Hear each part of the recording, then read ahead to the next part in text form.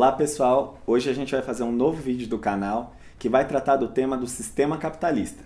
E para começar essa reflexão, a gente queria voltar no plano histórico e pensar que em todas as sociedades que a gente viveu até hoje, na sociedade egípcia, greco-romana, feudal, as distintas fases do capitalismo, sempre se teve a ideia de que a história tinha chegado ao fim, de que o fim da história é, estava colocado naquela sociedade.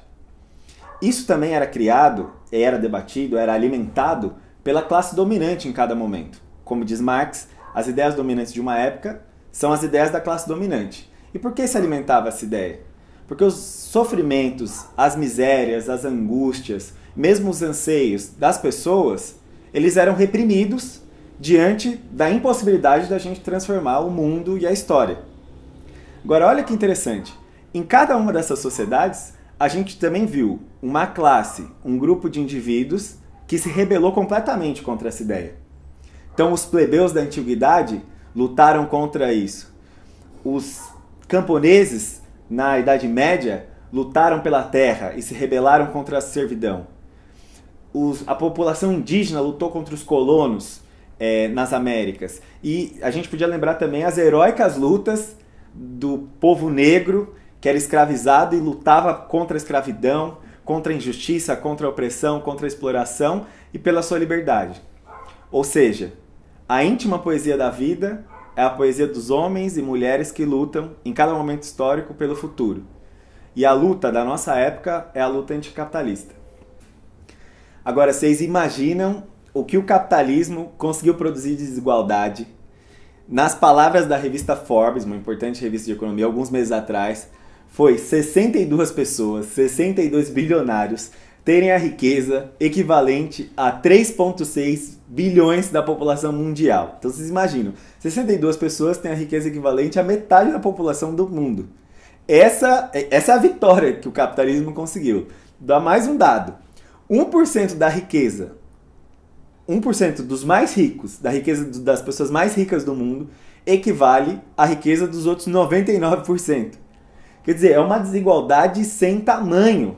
E essa, evidentemente, essa desigualdade produz todo tipo de mazela, miséria, é, opressão, e essa é a grande vitória. É, o capitalismo venceu, sim, os 62 bilionários devem estar bastante felizes com a sua fortuna. Agora, o lado da miséria muitas vezes não é observado. Aí você pode, algum capitalista vai dizer: "Ah, não, mas no capitalismo tem direito à liberdade individual". É verdade. A gente tem direito de pagar conta, de trabalhar muito e receber pouco, de ser oprimido no trabalho, de tentar comprar uma casa, um carro e pagar 30 anos e não conseguir pagar depois. Tem direito de ir e vir e tá no Rio de Janeiro e tomar uma bala perdida, como uma estudante tomou dentro de uma escola. Essas são as liberdades que o capitalismo pode oferecer. Mas vamos falar ainda. Ah, não, mas no capitalismo a gente tem a, a felicidade das pequenas coisas, né? Que tem inclusive vários livros de autoajuda para falar isso. Sim, é tanto assim que em pesquisa recente no Brasil se diz que 60 milhões de caixas de antidepressivos são produzidas no nosso país. Então, para além do que os sambistas falam, né, da cachaça desgraça que a gente tem que engolir para passar por esse mundo, tem que tomar ainda 60 milhões de caixas de antidepressivo para aguentar o barco do capitalismo.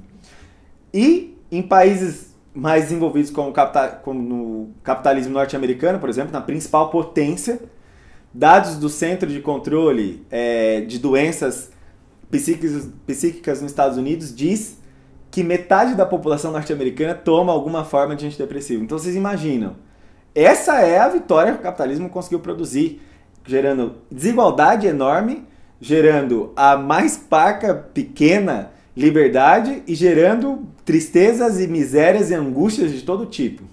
Agora, de onde vem toda essa mazela que o capitalismo produz? A própria palavra explica, né? A gente fala do capital, capitalismo.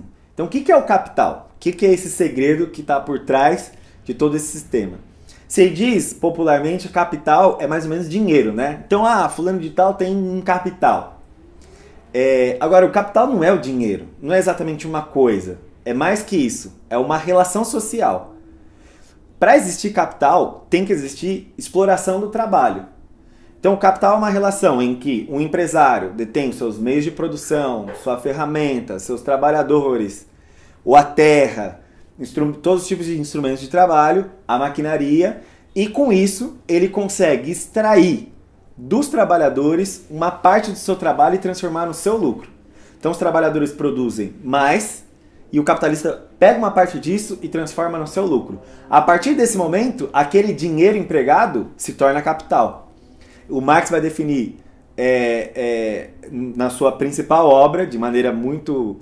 É, uma célebre passagem, que o capital então é um vampiro que se utiliza de trabalho morto, ou seja, daquele que está materializado em alguma coisa, em máquinas, é, em fábricas, etc., para sugar o trabalho vivo do trabalhador e se tornar cada vez mais forte. Porque para existir capital também tem que existir sempre um montante maior no final do processo de trabalho. Então, esse é o centro. O que, que se valoriza dentro do nosso sistema? A exploração desenfreada do trabalho, a busca de lucro, as relações de capital. Evidentemente, não é o ser humano que está no centro, não é a classe trabalhadora que está no centro. É a busca desenfreada do capital.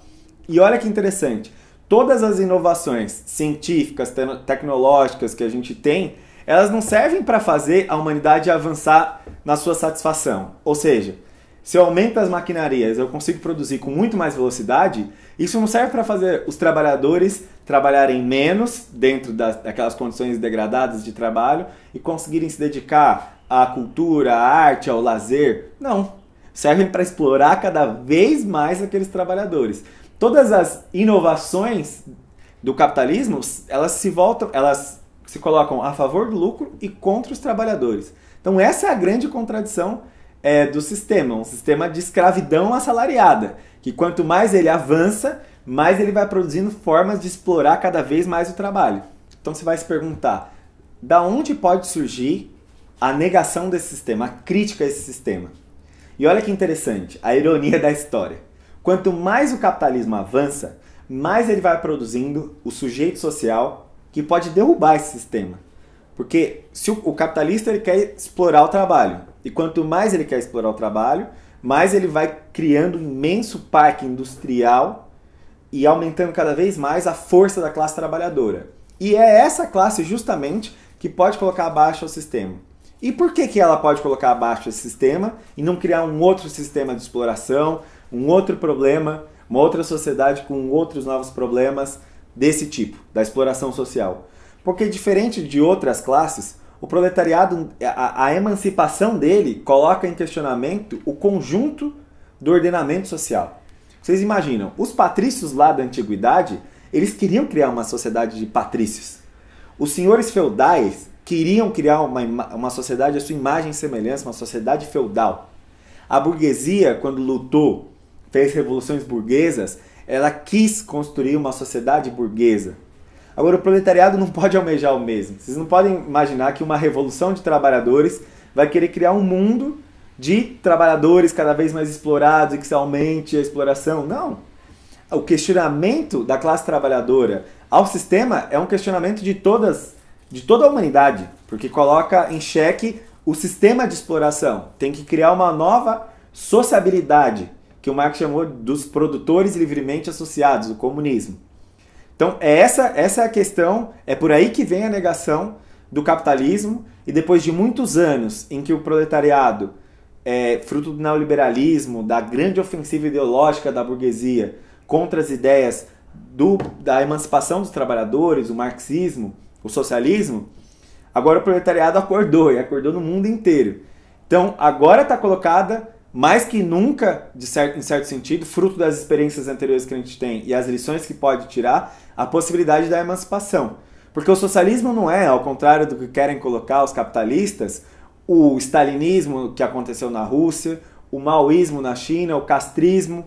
Não. Isso, todas essas doutrinas políticas foram a negação do socialismo. É, agora, não significa que não, não houve revoluções muito importantes no século XX, como a Revolução Russa, no século XIX já a Comuna de Paris e tantas outras revoluções que aconteceram, que colocaram a possibilidade da emancipação.